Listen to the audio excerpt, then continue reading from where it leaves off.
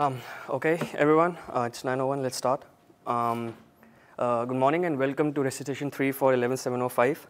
Um, today we are going to talk about some of the optimization techniques that we generally follow in deep learning and some of the tuning methods that we generally opt for when we are trying to gain different accuracies, gain higher accuracies in a network.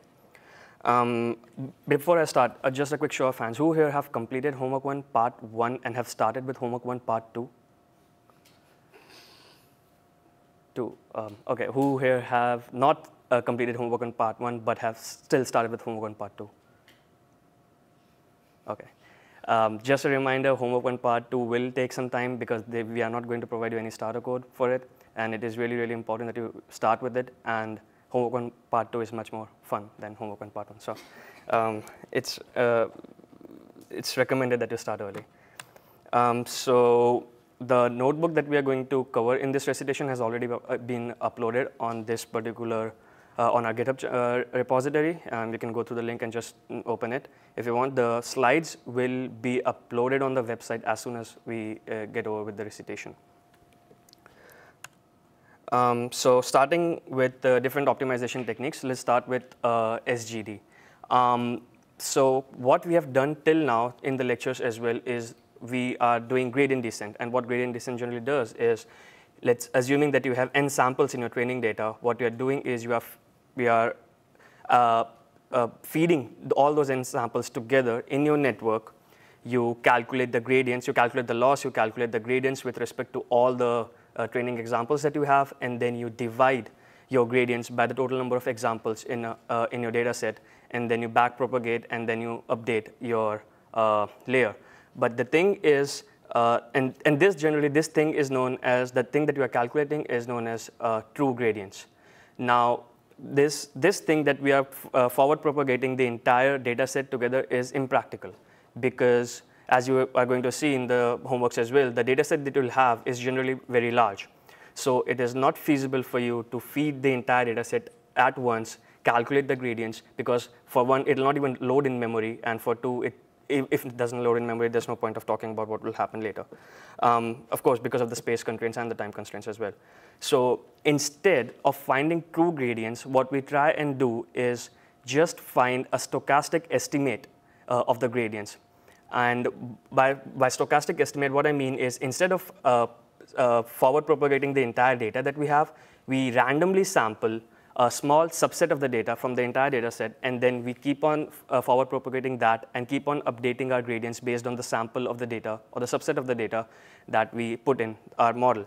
Now, this division of the data that we have, the uh, random sampling of certain sa random sampling of uh, examples from the data set, is, uh, uh, is known as um, a way to create mini batches. Now, mini batches basically means that you are just sampling from the data set and, uh, and have a subset of the data set. And now, instead of the total number of examples uh, n, now let's suppose you have total number of examples m.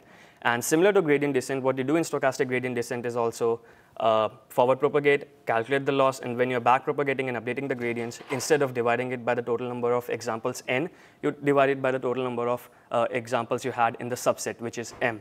And uh, that's what uh, the third equation in this particular slide means, is the gradient and the, the stochastic estimate of the gradient that we are doing. Uh, it, it, and this is generally known as mini batch, mini batch uh, gradient descent.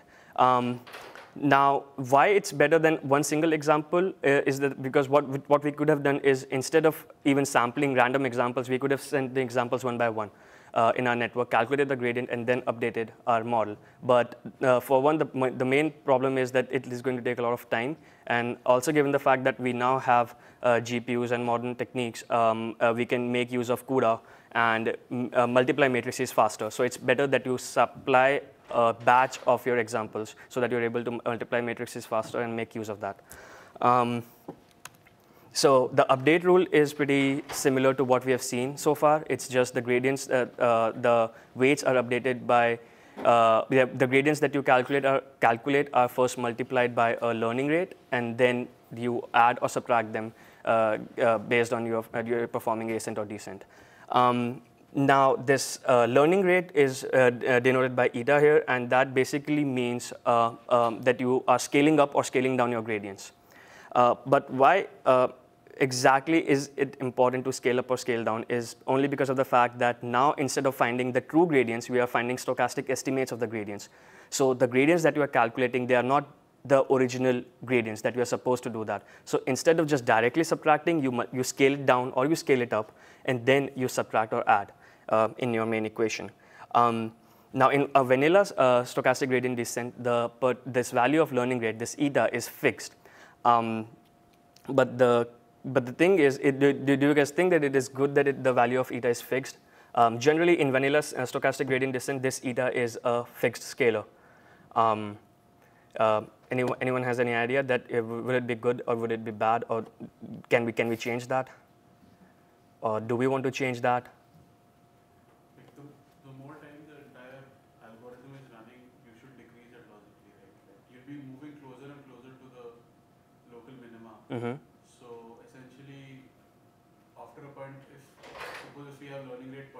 mm-hmm. and we are just 0.005 away from the error. Mm-hmm. So we'll just keep on wobbling around the local minima and might not reach it ever. That's a good point. Uh, the fact that we once we start moving towards the local minima, we want to reduce the gradients through which we are updating our particular weight so that we stop and we don't overshoot. Uh, also, the fact that the gradients that we have uh, are multidimensional. They, of course, they're two-dimensional in case of if, if you're considering a single weight matrix, they're two-dimensional. Now, the values, the gradients that we calculate for each neuron in a particular layer, they might not be same. Now, what we are doing, it is possible that um, some of the gradients in, in the weight matrix, in the gradient matrix that we calculate, they are high and some are low. But what we're doing right now is we're multiplying it with all the gradients with a simple scalar, which is not good and which is possibly not going to give you the optimum solution. Um, and, we, and, then we are going to discuss uh, what are the different techniques that through which we can uh, change this. Um, also, uh, currently, what we are doing is we are averaging the gradients that we are calculating for each batch so that we are able to get the loss for each training example uh, uh, because we are averaging it. Instead, what we can also do is uh, once we are passing the entire batch in the model, and once we calculate the gradients, and once we are calculating the entire loss for each of the example in the batch, uh, we can also sum that and uh, in that case, we'll be getting the loss for the entire batch and we'll not be getting the loss for a particular single training example. And it depends on the task that you're performing. So there's no correct way of saying that you should always do the average uh, over all the loss values that you calculate for a particular batch. You can also sum them and then see how it goes. But of course, when you're summing the value, it, uh, the when you're summing the values, your loss is going to depend on the batch size as well. Because if you have more examples, the sum is going to be more. However, if you're taking average, it does not really matter what your batch size is. It could be 16, 32, 64. It should really start from the same thing. Um, so the problem that we just discussed, the, the fact that we have a fixed, uh, fixed um, learning rate, could be changed if uh, uh, uh, is not something that we should be really following. So instead, we also have a different kind of uh, optimization technique, which is known as RProp or resilient backpropagation. Um, now, now, as we mentioned that the gradients are going to be two-dimensional. I mean, for, for a particular weight matrix, let's, con let's consider that we have a weight matrix and then we're trying to find the gradients for it. So the gradients are also going to be two-dimensional for it. Now, um, the number of uh, rows in that particular matrix is of course going to depend on the neurons in the layer that we have preceding and the uh, latter layer. But the thing is, if you are going to apply the same learning rate to all parameters is not good because let's suppose that your gradients are sparse. Let's suppose that you have 10 rows in your gradient matrix and out of that the top five have a particular value, a particular gradient and the rest five they are pretty sim they're pretty close to zero, which basically means that the weight update that you should be doing for the last five neurons in that layer should be negligible. However, the weight update that you should be doing for the first five neurons in that layer should be a particular amount. So how, but the thing is, because we have a scalar learning rate, you will be multiplying that particular gradient. How, if it's zero, it doesn't really matter because you'll not be updating it. However, if it's close to zero, if you don't want a large update, but you want a small update, you'll still multiply it with the same learning rate, which might lead to a convergence problem, which might lead to you not really reaching the global minima. Um, as we are going to see in the later uh, part of the course as well, the problem of vanishing gradients and the problem of exploding gradients uh, are pretty common. Exploding gradients being common in recurrent networks and uh, uh vanishing gradients being very common in a deeper network because as um, uh, we'll discuss it. Um, so because the fact that we don't want a scalar uh, learning rate, what we can do is we can adaptively change that learning rate based on the gradients that we are calculating. Now, let's in RProp, what we do is the uh, uh, assuming that you are doing full batch gradient descent. Now, in full batch gradient descent, you know the true gradient. Now, once you know the true gradient, you know that for that particular epoch, what's the exact amount of update that I should be doing for each of the different network, uh, for each of the different neuron, and for each of the different weight matrix. So what we can do, if we know the true gradient, we know that this particular neuron is not, does not need to be updated that much, and so that we can set the uh, value of the learning rate appropriately.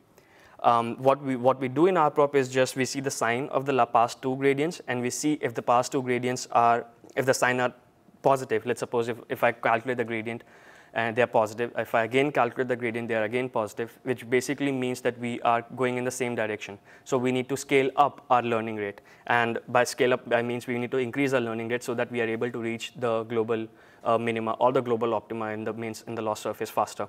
However, if the sign changes, it basically means that we have uh, we overshoot it, and then because uh, uh, because the gradients have changed signs, basically means that you need to scale down the learning rate and move forward. Um, so this is applicable only if we have true gradients, right? Because if we know the true gradients, then only we know the exact amount of change that we need to make in our learning rate. But as, as we discussed, this is not generally the case. Um, and RProp fails with mini batch training. And uh, uh, here's an example that really uh, shows how, why it's going to fail. So let's suppose you have 10,000 training samples and you chose a batch size of 100. So you have 10 batches that you're going to feed. Now, out of those 10 batches, let's assume that for the first nine batches, you are getting a weight update, a, a gradient of plus 0.1. So you're getting a gradient of plus 0.1, plus 0.1, plus 0.19 times. So that basically means that you need to update it uh, plus 0.9. And for the final batch, you got a gradient of minus 0.9. So this basically means that uh, the gradient for this update, this entire epoch, shouldn't be that much because it effectively it cancels it out. So it should be zero. And you should not be updating your network much. But in mini batch training, what you will be doing is you will see the first two samples, and because the uh, uh, because the sign of the first two uh, gradients are positive, you are going to scale up and you're going to increase the learning rate, which is going to further deteriorate the performance of your uh, network because you're not doing the exact same thing because you don't really know what's going to happen after. And that's where RProp is generally not uh, really useful in cases in which we have, uh, in which we do mini batch descent. Um, so a different solution for that is instead of doing RProp, what we can do is RMS prop. And RMS prop beautifully captures the fact that instead of looking at the signs, what we can, what we can and what we should be doing is we should be computing the running mean of the gradients that we are calculating. And uh, what it does is if we are saying that the running mean uh, is positive, is the running mean is basically increasing and increasing, then we basically mean that we are getting closer and closer and we need to decrease and scale down our learning rate. So the equation that has been mentioned here, what we are doing is we, uh, the gradients are inversely proportional to the expectation of our gradients. And that expectation is nothing but the running means that we are having. So as, as we are getting positive gradients and positive gradients, this value is going to increase, and effectively RMS prop is going to scale down our learning rate. Uh, and, how, and, and, and for the same case, if our uh, expect running mean is decreasing, it basically means that we are going away from the local optima or the local maximum of our loss surface. And what we need to do is we need to scale up our uh, learning rate. Um, so RMS prop, uh, uh, RMS prop adaptively scales the gradient to reduce the chance of um, overshooting the minimum or maximum of your mm, loss surface. One of the most common and one of the most widely used optimizers uh, is the ADAM optimizer. ADAM optimizer stands for uh, adaptive moment estimation, and it captures both the, the positive things of RMS prop and AdaGrad. AdaGrad is, an, is another optimization technique that we are not going to discuss right now, but um, feel free to explore it and uh, come up with different things that we can maybe use in uh, homework as well. Um, but ADAM is one of the most commonly used optimizers, and throughout this course, uh, ADAM would be the most widely used optimizers that you will use. And we'll see right now why. Um, it's because in, uh, if you're just taking the first moment of your gradients, and let's suppose you have a big network. So once you're, once you're back, back propagating to that big network of yours, you are multiplying it with all the gradients, and then you are updating your first, first layer. So the update for the first layer is generally very small. And that basically means that you are neglecting all the information that you are, you, you're not acquiring a lot of information for the first layer. So the updates for the first layer is, they're unstable in, in the initial few things. Um, and what Adam does is instead of just taking the first moment of the gradients, it also takes in the account the second uh, moment of the gradients. And it uses both these gradients to update the learning rate.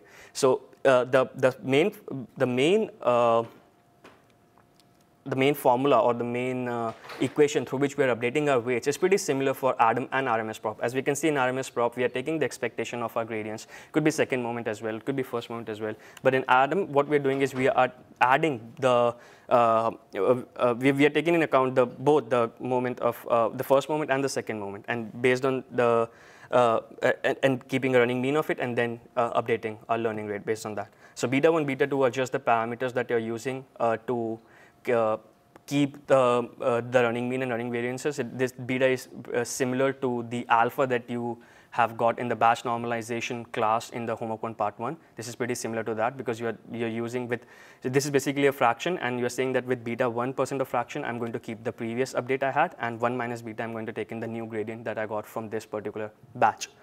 Um, and, and, and, after performing uh, multiple gradient descents and multi, after performing different, uh, after, after seeing the performance of Adam on different tasks, uh, the default parameters for Adam generally is that the learning rate is 1e minus 3, beta 1 is set to uh, 0.9, and beta 2 is set to 0.999. Uh, yes? I'm sorry? Uh, M MT and VT? Uh, yeah, yeah. So MT and VT are just different. you are uh, capturing the running means of the first moment and the second moment of your gradient there. So it's pretty similar to um, what you are doing in batch normalization also in homework part one, if you remember. So in your, in your running mean, what you're doing is running mean times a particular beta plus one minus beta times the new mean that you are going to get, the new gradient that you are going to get. Uh, so that's that you're, you're, you're finding the expectation of your gradients. Um, and MT and VT are first and second moment. As you can see, it's, it's multiplied twice. Um, uh, a, a, frequent question is when to use which optimization. Um, uh, to be really frank, there is no correct answer to this, uh, but um, uh, there are certain intuitions that you should know, and the, when one of them is if you're starting to increase the number of layers in your network, what you're doing is you are increasing the number of parameters in your network. And what basically means that once you backpropagate, the updates that you are going to get will be much more shallower because you're compounding it with the learning rate and with all the gradients that you have calculated uh, in the, in, in the uh, ladder part of the network. So with bigger networks, the problem of vanishing gradients increases. And with vanishing, with, the, with this problem, it is generally recommended that you do not use something like SGD because this it's not really taking into account all the moments properly. So uh, that is one. And uh, for some tasks that have uh, temporal associativity, for example, uh, for some tasks in which you need to input the network, the output that you got from the previous time step. And, for example, in some tasks, you need to have the time dimension as well, as we are going to see in the later, uh, later homeworks as well. And you have an additional time dimension. And based on that time dimension, you are feeding the output of your neural network back again in the network. Uh, so in such cases in which you have temporal associativity, you also have the problem of exploding gradients, which we are going to see. And for such problems also, it is generally recommended that you use something that is acquiring enough information, uh, optimizers like Adam, RMS prop, and stuff. Um, but again, there's no fixed answer to this. Um, depends on the task, depends on uh, multiple other things. Um, now, uh, what we, so th these were some of the optimization techniques that we discussed. Now, for hyperparameter tuning, um, there are multiple, multiple ways through which you can do that. Um, uh, grid search being uh, number one. So grid search is a, a very simple technique in which uh, you know the hyperparameters that you want to tune. For example, you know I want to tune my learning rate, I want to tune uh, uh, some of the, uh, I want to tune the beta for my momentum or stuff like that. And what you do is you just create a subset yourself uh, and what you say is uh, for, for learning rates, I want to check how my network is performing for uh, 001, 0.01, and 0.1. And uh, you also have, you also set something like that for different parameters for beta and other hyperparameters. And what you do is you, it's, it's, it's just uh, uh, uh, it's a problem of complementary. it's just a problem that you just try with all the different permutations and combinations that you can make with all the different hyperparameters and come up with the combination of hyperparameters that's the best. Uh, the good thing about this is you can do this in parallel because each and every setting is independent. So uh, uh, uh, your model of point uh, with a learning rate of 1 e minus 3 is different from your model with 1 e minus 2. So you can run those in parallel and see which performs uh, better. The bad thing is that of course, you are yourself defining the, sub, uh, the hyperparameters, and it is possible that you're missing the hyperparameter which is really required for you to reach the local, uh, uh, which is required for you to reach the global minima of your loss surface. Uh, uh, the, uh, from, apart from grid search, there's another technique known as random search, and in this you just randomly uh, state and you just uh, go and randomly select a particular hyperparameter to uh, hyper, hyperparameter and then you tune it and you find different type of parameters randomly. There's no subset, you just uh, go in an open space. It will take much more time. However, uh, it's, it's known to be much more effective than grid search because you're taking in a different number of hyperparameters. Uh, there's another um, hyperparameter tuning method, a Bayesian method of doing that. And in this, what you do is, for all the hyperparameters that you have in, a, in your network, you map those to a particular function.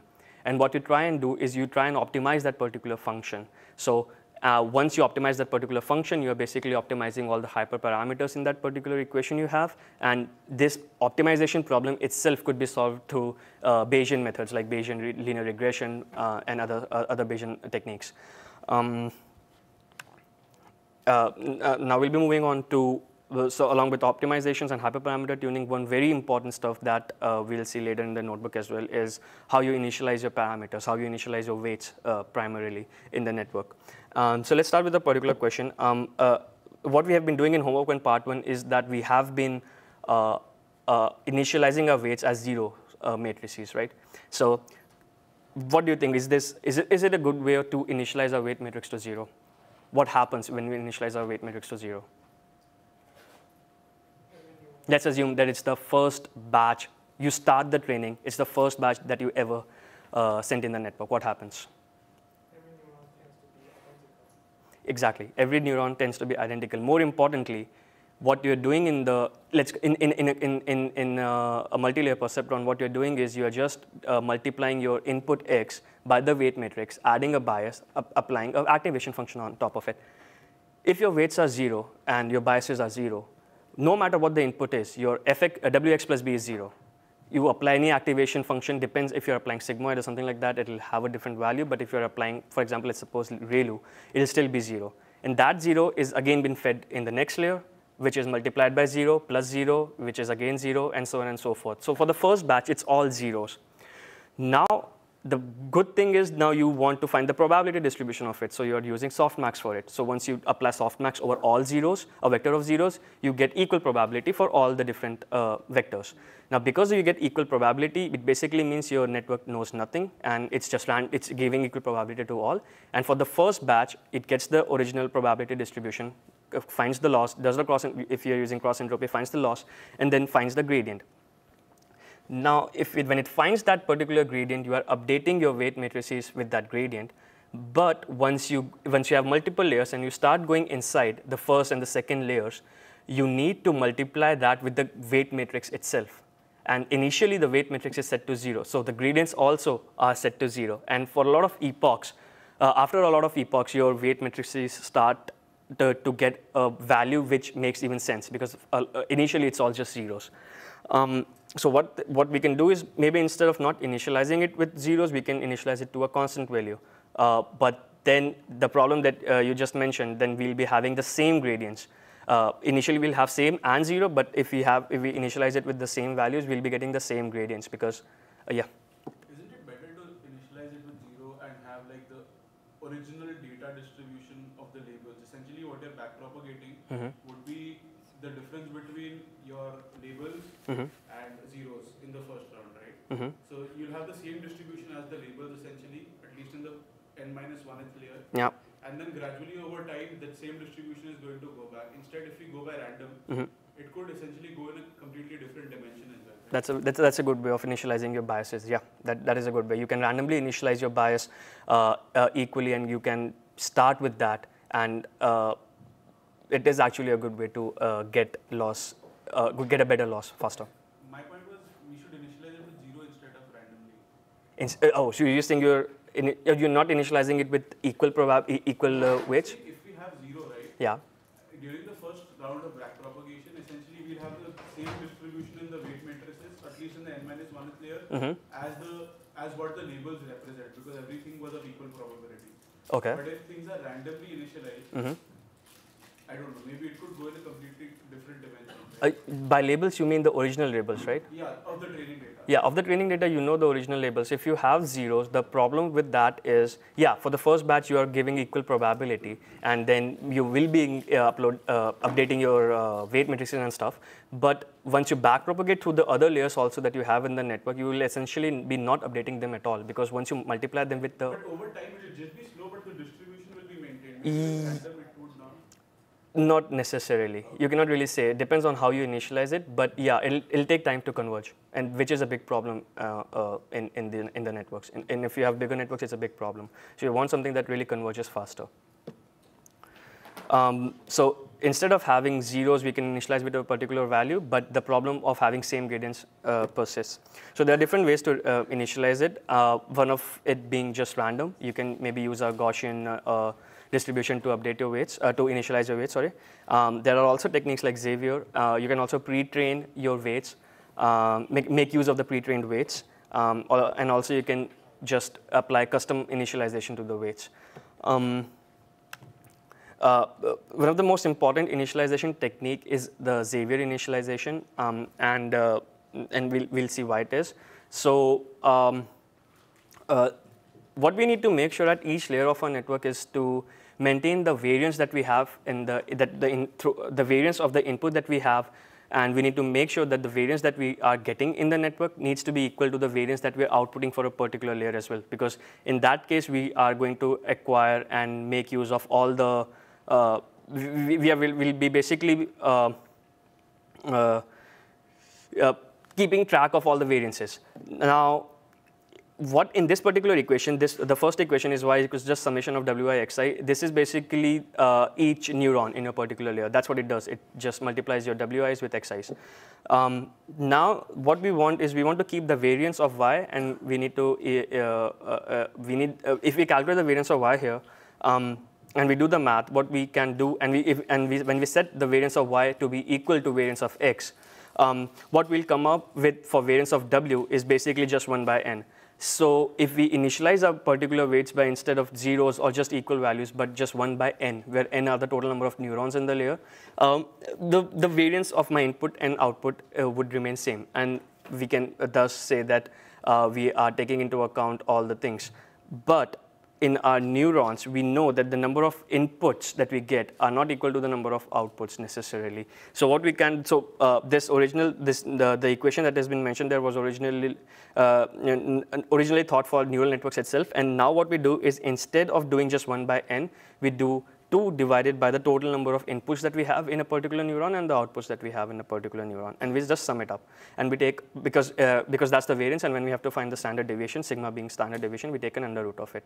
This initialization is known as Xavier initialization because, um, and, and in this you are taking into account the equal variance of input and the uh, out output. Um, so, um, so these are the different initialization techniques. Now let's see how they, they really perform uh, uh, in, the, in the notebook.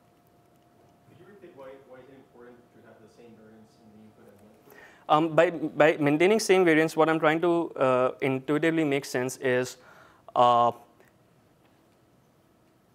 if I have, let's suppose, two uh, neurons in my network, right? Uh, those two neurons need to effectively make sure that the any input that I'm going, getting from the previous layer uh, needs to be taken into account properly what I can do is maybe just increase my weights, and so that when, when whatever input I'm getting, I'm just able to multiply them properly and make sure that uh, my output remains like that. For, but if I have a large number of neurons in my particular layer, uh, what I would want is to have uh, smaller weights for all the different neurons. And if we have smaller weights for all the uh, neurons, we are making sure that we are having enough variance for each of the different neurons, and uh, which in turn is going to propagate whatever output we get, uh, in, which in turn is going to propagate whatever input we get uh, through the network. So if that is the case, um, and if we make that, you, and, we, and, if we set that variance of x, our input equals to uh, uh variance of y, uh, we get that particular equation, which basically makes sense. If you have two neurons, you, you initialize them as 1 by n and 1 by n, which is 0.5. You have larger weights for it. But if you have 10 neurons or maybe 100 neurons, you want to equally give opportunity to each neuron to fire and propagate the information forward. So which is, again, 1 by n. Okay. Um, so the, for the so for the purpose of this tutorial, we are going to be uh, we are going to use PyTorch, and uh, uh, we'll see first uh, how it performs with different optimizers optimization techniques that we have discussed. So uh, uh, here I'm just importing all the libraries that are required, um, and the and the data set that we are going to be using in this particular recitation is the fashion MNIST. So it's pretty similar. The characteristics of the input, the data, the, the, data that we have is pretty similar to the original MNIST data. The fact that the images are still 28 cross 28, so you have 784 neurons in your input. Um, also, the number of labels, labels uh, eh, that's constant. You have 10 labels. Um, and uh, you have single color images, and you have centered objects, and you have 50,000 training and 10,000 testing images. Um, so, so, so, so, this particular uh, uh, cell is just, uh, we, we are initializing a class to uh, load the data set that we have. And these are the different labels that we have um, uh, uh, in the fashion MNIST data set. Um, we have train data and test data. And if you, if, you, if you try to see some random examples from the fashion MNIST, these are the random examples that we see. We have trousers, sandals, and stuff like that. Um, now, what we want to see is the performance of different optimizations. So for the sake of doing that, we are just going to initialize uh, a, a, very simple multi-layer perceptron. We'll have three layers, and uh, they'll have 64, 32, and then finally just 10 number of neurons in each one of them. Uh, and uh, as we can see in the forward function, we are just taking the log softmax because um, uh, that's going to work with the uh, cross entropy loss that we'll use. Um, now, in, for, for a simple optimizer in PyTorch, we, there is a there's, there's a resemblance with what we have done in homework 1 part 1. We all have the step function in PyTorch, which basically does the same thing that we have been doing in homework 1 part 1, which basically updates the gradients that you have. And uh, for different optimizers, step function is the only function in which you have you see the see a lot of difference um, because the way that we are updating our weights gets different. That, that's what we discussed in the slides. There are different ways of adaptively changing learning rates and stuff like that. So the step function is basically different for all the different classes that we have um, for uh, uh, uh, all the different classes that we uh, have for the different optimizers. Um, so what we're doing here is uh, we uh, I'm going to write a simple uh, of, of, of, different simple function that is going a simple class, a trainer class, which is going to do all the calculations for us, all the forward and the backward propagations, and calculate the loss for us. Um, th this is uh, the strain loader, validation loader, and test loader is nothing but uh, the uh, loading of the data that we have. And now uh, this is the training module that we are going to use. And in this particular trainer class, we, uh, the constructor of the main class only has a, a, model that we are going to input, the model parameters they're going to be, and an optimizer that we are going to uh, uh send in the class. So it can be Adam, SGD, RMS prop, whatever the run function is the function that is uh, basically going to do all the training for you. So in that, for each epoch, you're going to forward propagate, get the loss, do the stuff that you have been doing in the train statistics function in homework 1 part 1. Um, so you do this, and uh, um, for, for, for, so to see how the performance is for all the different optimizers, we're just going to initially, ran, um, I mean, normally distribute all the weights in our layers, um, and uh, let's run it for eight epochs. So now that it's training, uh, it is, so what I'm doing here is uh, I'm initializing an optimizer for SGD, I'm then initializing an optimizer for Adam, and then I'm initializing an optimizer for RMS prop, and then we are going to see how the loss is going to converge. Um, so now that it's training, uh, uh what we are doing to see how the model is performing is just printing the loss. But uh, in the later recitation, specifically the next recitation that we'll have, we'll also see there are different ways to visualize and evaluate how your model is performing um, instead of just logging a particular loss value uh, on your console. Um, so we can see that for an SGD optimizer, it starts with something width of 0.12, and then it's switching the, to a loss of 0.016. Um, uh, with an Adam optimizer, it's starting at a higher uh, loss, but uh, as you can see, it is uh, converging faster for, for, for, for Adam. Um, and uh, in Epoch 3, it's, it's reaching a particular value. Um, I'm just going to let it run. It's going to take maybe a minute or two. um, and then we can see how, how, how it performs. But it's going, um, it's pretty similar to what we assumed that, but it does not necessarily mean that the, uh, and what we'll be seeing in the later recitation is that even if your loss decreases pretty quickly or if it converges pretty quickly, doesn't really mean that you are going to classify uh, uh, and have a better accuracy in your model. Um, um, so for Adam, it is reaching um, uh, a loss of 0.007, and something similar is going to happen for RMS prop as well because the data set is not that complex, and RMS prop and Adam effectively do the same thing. Instead the fact that Adam, of course, uses second moments as well. Um,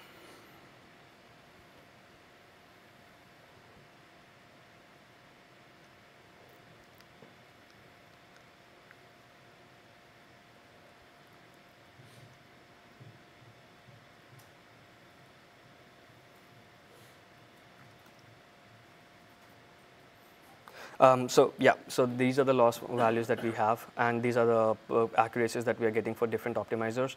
And as expected, SGD is a, is a little slow to converge, uh, but Adam and RMS prop uh, converges faster. And for this particular example, they're getting higher accuracies as well. Um, if we simply just plot the training losses, we can see that for, uh, so, so, the first one being uh, SGD, Adam, and RMS prop, uh, we can see that the training loss is, is, is, much lower for RMS and Adam. Um, now, uh, not no, now this is for this, this, these are the things for optimize different optimization techniques. Now if we if we see the same thing uh, for different parameters, so what we're doing here is we are um, uh, making a function which is in which is taking the entire module in as the input, and what we're seeing that if the particular type of my layer in PyTorch is linear, then I'm going to apply the weights that I have. Uh, uh, then I'm going to apply a particular weight and initialize the weights. Um, so I can do that, if, for example, in this case, we, what I'm doing is I'm initializing it with a normal distribution, so they are normal weights.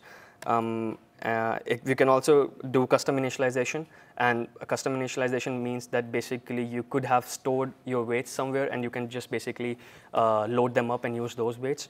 Um, uh, uh it, for this particular example, I'm just using dot copy underscore to just copy the weights. It's going to be the exact same weights.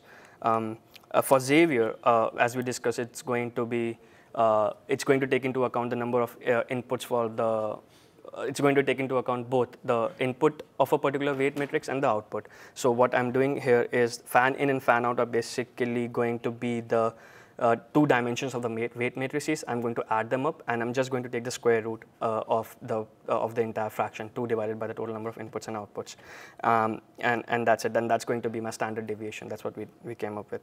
Um, I, I, I am just applying that particular thing here. And uh, let's just train, let's just see how uh, it's going to perform for just three epochs for the same uh, optimizer, Adam, and different parameter initialization.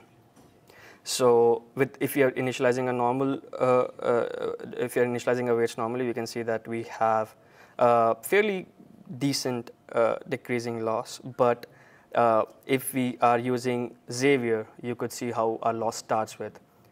Because uh, we are not, that's what, that's what we were discussing, right? That if we have normally or if we have zero weights, it is going to take much more time for the network to start learning something. But with Xavier initialization, you're making, making sure that uh, your weights are initialized to a proper value and so that it starts learning quickly.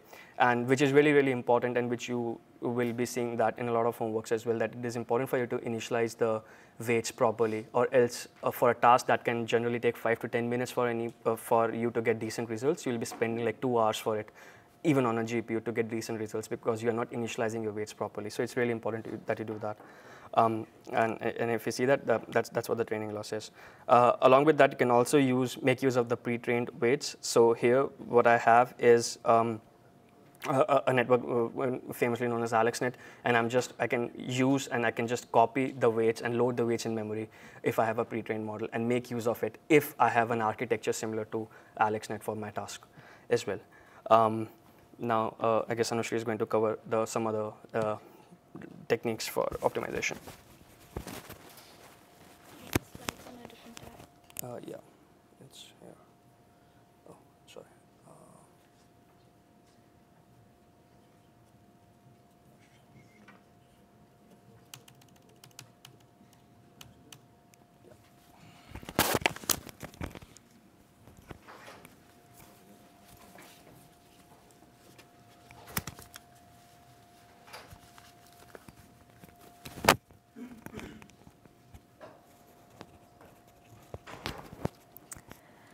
Okay, um, so the next section of the recitation will cover mostly the techniques and some of the um, optimization methods that you could be using uh, while training your model and more importantly when you're trying to tune your model.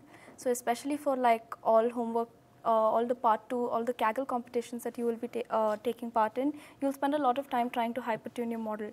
So, um, so I'll be trying to cover like some of the things that you can use and you can like see to like prevent things like overfitting and in general like to see how your model is performing. So I'm sure like all of you kind of uh, went through, had to implement momentum as part of homework one, part one. So um, the main thing that you need to remember about momentum is that it is a way to kind of accelerate your uh, convergence and also make sure that your gradients are moving in the right direction right? And um, so let's just quickly move to the Jupyter notebook.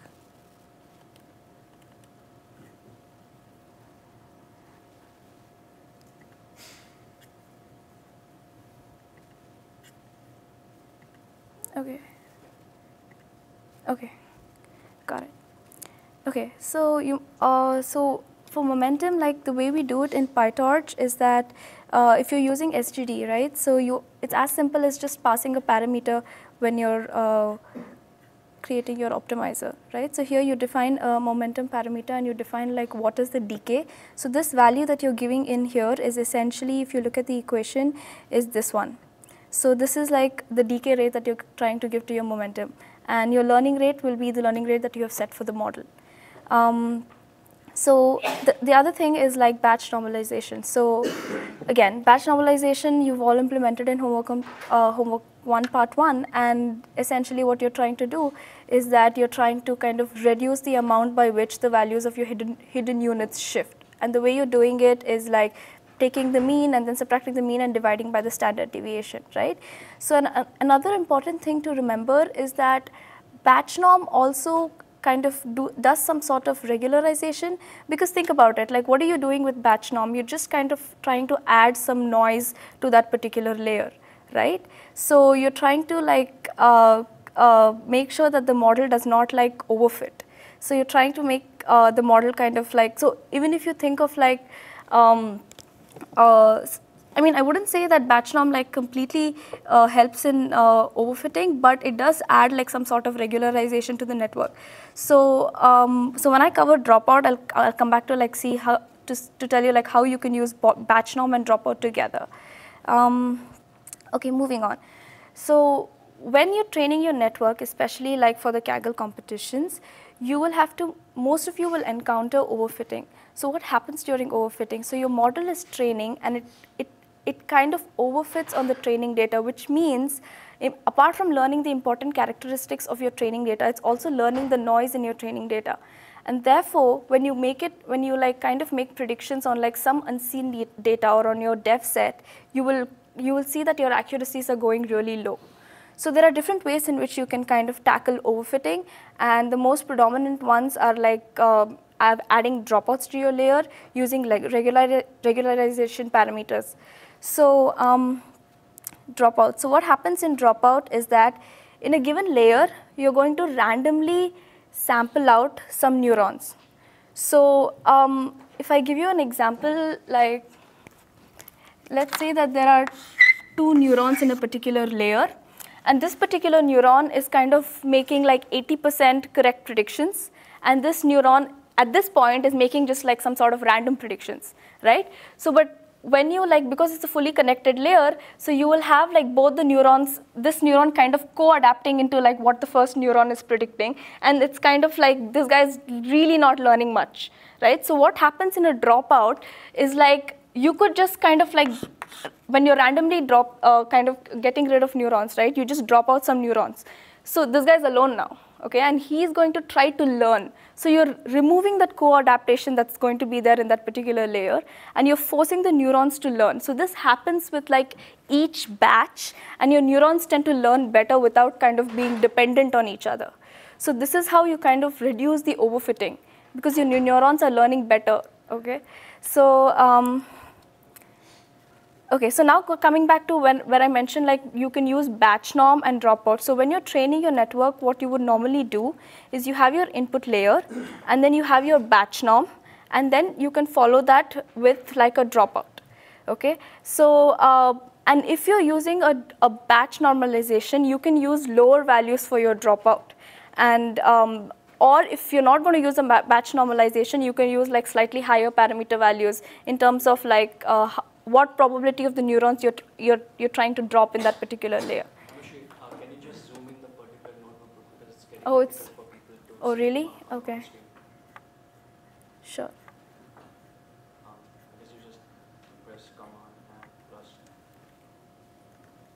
Is this okay? Yeah, I mean, it's, basically for students. Oh, on the video? I hope this is okay. Okay, cool. Okay, and um, and there is also regularization, right? So what so what does regularization do? So you're trying to add some kind of regularization or some sort of weighting to your loss function where you're trying to penalize your uh, loss function to make sure that it does not overfit. So you're trying to, so especially in the case of like when you're having like vanishing gradients. When, so what is a vanishing gradient problem? So your gradients, your network is not is so huge that when you have your when you're multiplying over all your gradients, the gradients become so small that they're extremely close to zero. So the gradients are typically vanishing, right? So you add your regularization parameter so that this case does not happen. And you're trying to make sure that uh, your, um, uh, your loss function, like there is some value to it and it gets back propagated.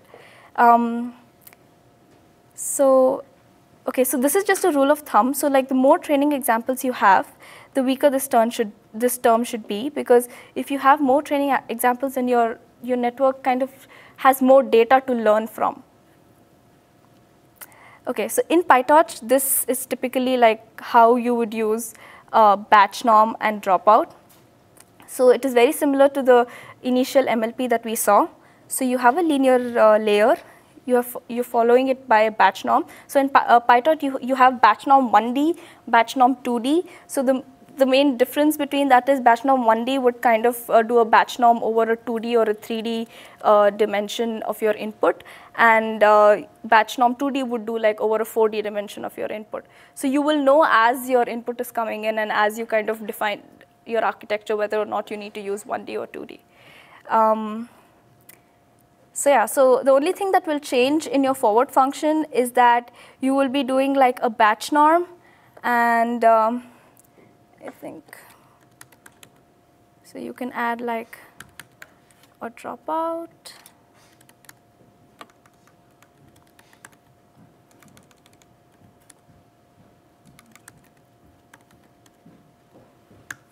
Yep. So, um, so you can actually try to run the models. So, so here like we have set uh, we've given, so weight decay is nothing but your, uh, is equivalent to your L2, no, L2 regularizer. Okay, so you can mention the weight decay parameter here and it will act as your L2 regularization to your loss. So, um, so basically here, like in this Jupyter notebook, like I would suggest, just go and make changes to all these parameters and um, uh, try to add more layers, try to add dropouts, batch norms, see how they work. You can also plot like uh, the training metrics for both your validation and your train losses. Just see how they work and try to understand like how tuning different hyperparameters will affect your network. Um, okay, so moving on. Um, gradient clipping. So initially in the beginning of the recitation, we heard about uh, explosive gradients, right? So let me just go back to the slide deck. Okay, it's here.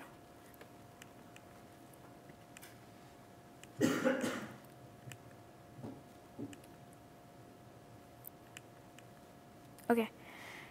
So um, in gradient clipping, we have our gradients accumulated and they are so large that when we are trying to kind of um, converge or we're trying to go down the landscape to find our local minima, we overshoot. So if this is the landscape, you, you can see that our gradients are like, have increased so much at this point that we are overshooting the landscape. And we are literally missing the local minima that we are supposed to converge at. So this is a gradient explosion problem, and the way we kind of try to like overcome it is like we're going to clip the gradients to a threshold. So your accumulated gradients, just before you make your step update, you're going to set a threshold and you're going to clip the gradients to that. So that will ensure that you're actually uh, you're not going to overshoot and you're actually going to like fall down and go, go in the right direction to your optimization function to find your local minima. So that's kind of the main objective of doing the gradient clipping. And um, the way you would do it in PyTorch, like there are different ways to do it. And this is one of the ways to do it, where you take all your model parameters and you kind of define like the value at which you want to like uh, clip. And uh, it's, it's just as simple as that. But the most important thing is that you need to, you, you need to use this before you do your step, your optimizer dot step, which is your step updates. Okay. Um, and the other thing that I wanted to talk about was this. Okay, yeah. So what, how did you come up with that parameter? Why did you use that? It's a hyperparameter. So I mean, it is basically something that you would you can normally people use it between like 0.25 to 0.6, 0.7 ish, but it is it really depends because you you need to know like how deep your network is and like your your gradients when they accumulate, it really kind of varies between different architectures. And you need to kind of make sure, like you wouldn't, for example, you wouldn't want to have a very high value to clip your gradient right when you start training and when you have a smaller network, right? So you, do, you want to make sure that that does not happen. So it's kind of something that you monitor and you see how your network is working. Like for example, the way I would do it is like, as I'm monitoring the network, so I'm, I'm going to keep looking at my training losses. I'm going to be looking at my validation losses. And I see that I'm overfitting, okay, which means I've missed minima, right? So there could be many reasons that I've done. I could have overshot it, right? I could have been, you know, uh, my, my neurons might, might not be learning, right? We might not, there might be overfitting to the data. There could be a lot of reasons, right? So in that case, like I would initially start with trying to like clip, use, use a threshold, and then see what happens. Okay, did I reach my minima this time? Did I not overfit so soon? So these are the things that you kind of try to like gauge as and when you're training your network. So there is no definitive answer to that question. Yeah, it's really empirical and depends on the task. It is possible that for a particular uh, task, your gradients are stretching out and uh, you need to get them to a particular value. You need to see what your gradients actually are instead of just going with a going with a random value of 0.25 or 1 or 2. But these are the values that are generally that generally work. But it's really, really important that you, instead of directly just randomly selecting a particular value, just see how your gradients are working at that time and then clip it. Because sometimes 0.25 might be a little too small Yeah. for some tasks. Yeah. You might want to adjust it to 1. So they're really empirical. How do you, how do you tell how your gradients? You can you can actually print You and can, you can print that. You can check. We'll see how we can visualize the entire model. Because currently, how we are visualizing the model is just through the loss. Basically, evaluating what our model is doing is through the loss. But that's not really the best way of doing it. We need to see how our gradients are performing. If adding a particular layer is really helping anything, or maybe even if we add a particular layer, the gradients for both the layers are just same. So we need to see that how our gradients are also performing, and we'll see in the next presentation actually how do we how to do that. yeah. So um, Another question, sorry. yeah, sure. On, on this clipping, are we clipping the, some kind of, based on some kind of norm? Yes. Yes. So basically what happens is like you can imagine as having a single vector with all the gradients so far and then you're kind of taking a norm and uh, you're trying to like clip based on that norm. So So- you're, you're resizing them appropriately? No, you're not- Every entry is resized, or are you just clipping like every derivative? You're clipping every derivative. Okay. So the other thing um, is early stopping. And so when you're training your network, and in fact, as part of homework on part one, if you've completed the training stats part of it, so you initially train a model and then you kind of validate on it, right? So you would want to know that when you're training, like how many epochs do I train for? Like when is my model good? Like if you just like train a model for like 20 epochs versus 10 epochs, it might have overfitted somewhere in the middle and you would never know. So it's very important that you like kind of set a stopping condition.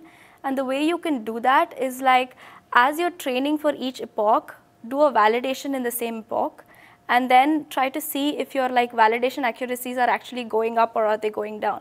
So even if your training accuracy is high, if your validation accuracy starts to decrease, just stop. Okay, have a stopping condition, something you need to like change your model your, because your network has overfitted, right? So you need to make some changes. Either you need to change the architecture or uh, change the number of neurons in each layer or whatever different hyperparameters that you want to change. So early stopping is a way to kind of figuring out how many epochs do I need, really need to run.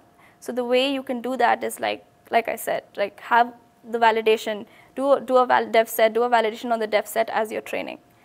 Um, okay, so let's go back to the Jupyter notebook. Okay, um, so this is another important thing that kind of really helped me when I was training and a lot of us, and it's the annealing learning, learning rate. So as you're training the model, you set a learning rate, right, in the beginning, and that kind of remains constant throughout. But, so imagine a case where you're kind of training and at a point, like because of the learning rate that you have, you have set, you might have just skipped the minima and you're trying, to, you're starting to overfit. So, but you want to like, if you had just reduced the learning rate a little bit, you might have just captured that local minima. So the idea behind doing an annealing learning rate is something like this. There are different ways of doing it. You can do like a step uh, decay annealing learning rate, or you can do like an exponential decay. But the objective is that with a step decay, for example, and that's what's commonly used, is that decrease the learning rate by a certain num by a certain amount after every say five epochs or 10 epochs. Or you could also do something like after every 100 mini batches. So this function here is something that you can use. And uh, initially you have set your learning rate to something. And then you need to define like by what you want to drop and by what value you want to drop and after how many epochs. So you call this function while you're training, right? So you call it like uh, at the end of like say ten, you just check, okay, after the 10th epoch, call the step decay function, reduce learning rate. So the, the normal, the norm of doing it is like you start from like a higher value like 0.1, and then like after five epochs, just reduce it to like 0.01, and then 0.001. So what happens is that if you're, if you're converging to a local minima, you're reducing, so it, you make sure that you kind of actually hit the local minima and just because of a higher learning rate, you don't kind of miss it. So that's kind of the objective behind having like an annealing learning rate. Um, yeah. What's the relationship between like uh, this annealing rate and uh, Adam and uh, like the momentum? They are sounds like they are all for the same objective, right? Kind of, yeah. So like like Shivam spoke about Adam, right? So in Adam, basically the learning rate it adaptively changes by itself to for if different parameters. So um, at times Despite that, you will still have to do an annealing learning rate. So it's kind of an optimization technique. They do have the same objective, you're right, but it, you will have to like still reduce the learning rate in order to do that.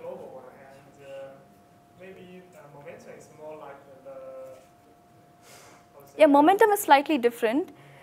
Like because in momentum you're you're kind of like denoising so that you kind of go towards your original function but uh, it, it also used to like accelerate your uh, uh, convergence.